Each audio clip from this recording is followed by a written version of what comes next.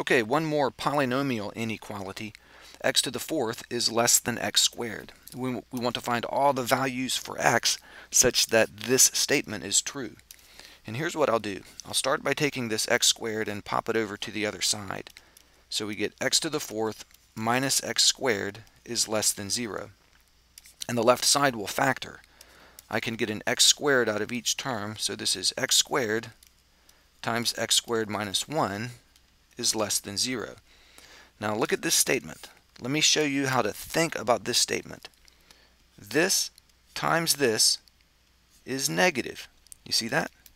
Two things multiplied together and less than 0 means negative. So I have two things multiplied and the result is negative. And that is the significant way to think about this. Two things multiplied together, and the result is negative. Now, how do you multiply two numbers and get a negative number as a result? Well, the only way to do that is if one of the two is negative.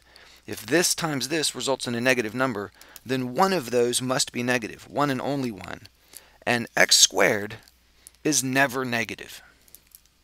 So if one of these two things is negative, and it can't be this because anything squared is never negative, then this has to be negative. So logically, our problem simply reduces to this factor being negative. So I can say x squared minus 1 is negative. Okay, now add 1 to each side. You get x squared is less than 1. And if we square root each side, be careful here, watch this the square root of x squared is less than the square root of 1, which is just 1. And the square root of x squared, that is one way to define the absolute value of x. So saying this right here is equivalent to saying the absolute value of x is less than 1. That means the distance from 0 on the number line has to be less than 1. So if we draw a number line, here's 0, 1, and negative 1, negative 1 x must be a distance from 0 that is less than 1. So it has to be in between this. And this is not a less than or equal to. It's just a less than. So I don't want to include negative 1 and 1. So I'll use parentheses right there. And it's everything in between, but be careful here. 0 is not allowed. If I look back at my original equation, you can see that 0 won't work because 0 to the fourth is 0 and 0 squared is 0 and 0 is not less than 0. If this was less than, less than or equal to right there, then 0 would work, but 0 is not allowed. So we need to open circle right on the 0. Okay, so 0 is not a part of this solution. But all the numbers between negative 1 and 0 are, and all the numbers between 0 and positive 1 are. And if you wanted to write that out, you could say negative 1 is less than x is less than 0, or 0 is less than x is less than 1. Okay? Your answer could be anywhere in here or anywhere in here. So logically, it's an or right there. Okay, a couple of other things to point out that are worth noting is look at this, right down here. When you get to this point, you could graph that. You could graph it like this. x squared minus 1 is less than 0. That should immediately conjure up an image in your mind. Okay, look, just real quick. If this is your x and y axes, y equals x squared looks like this. So what is a graph of x squared minus 1? Well, it's that same parabola shifted down 1. So it's going to go through these points, negative 1 uh, on the y-axis and positive 1 and negative 1 on the x-axis. So this is going to be my x squared graph shifted down 1. And then I, then I have to look at this. x squared minus 1 is less than 0. Where is this graph less than 0? Down below a height of 0. Well, for these x values, down there, the graph is below 0. And you can see that's between negative 1 and 1.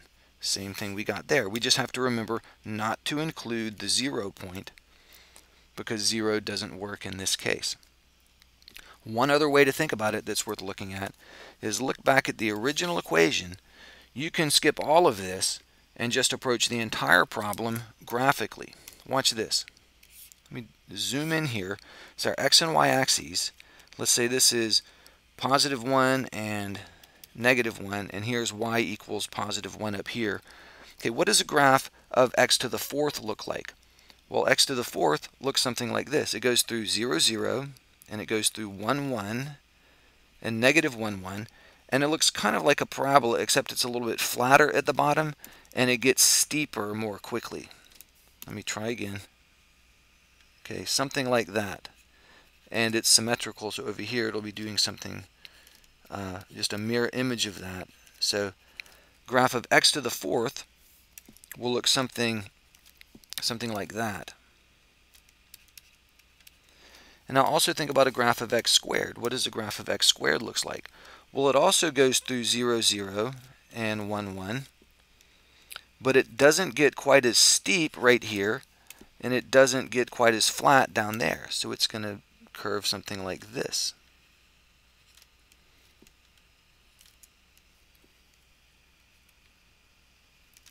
Okay, and that's my graph of x squared.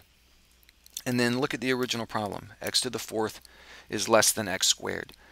When you look at this picture, you can see where the x to the fourth graph is less than or below the x squared graph.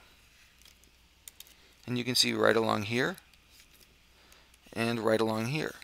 Not at point 0 because they're equal at point 0, but everywhere between 0 and 1 and everywhere between negative 1 and 0, the x to the fourth graph is less than the x squared graph. So you can see the answers.